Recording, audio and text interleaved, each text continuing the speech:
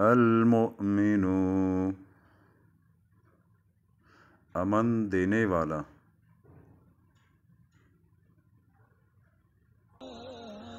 जो कसरत से इसका विरद करेगा, इसका ईमान कायम रहेगा और लोग इसके मती हो जाएँगे।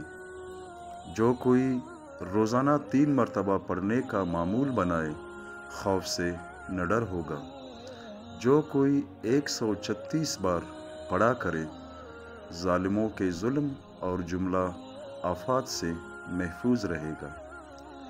खौफजदा आदमी अगर फ़र्ज़ों के बाद छत्तीस बार इस इसम का विरद करे तो इसकी जान व माल महफूज रहे।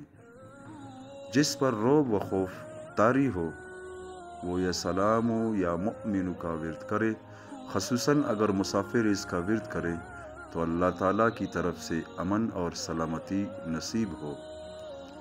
जो शख्स किसी खौफ के वक्त 636 बार इस इसम को पढ़ेगा इन हर तरह की खौफ और और नुकसान से महफूज रहेगा, जो 115 बार पढ़कर अपने ऊपर दम कर लेगा इन हर तरह के खौफ और नुकसान से महफूज रहेगा।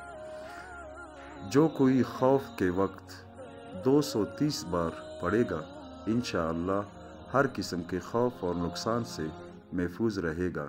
जो शख्स इस इसम को पढ़े या लिख कर अपने पास रखे इन हर किस्म के नुकसान से महफूज रहेगा। जजाकल्ला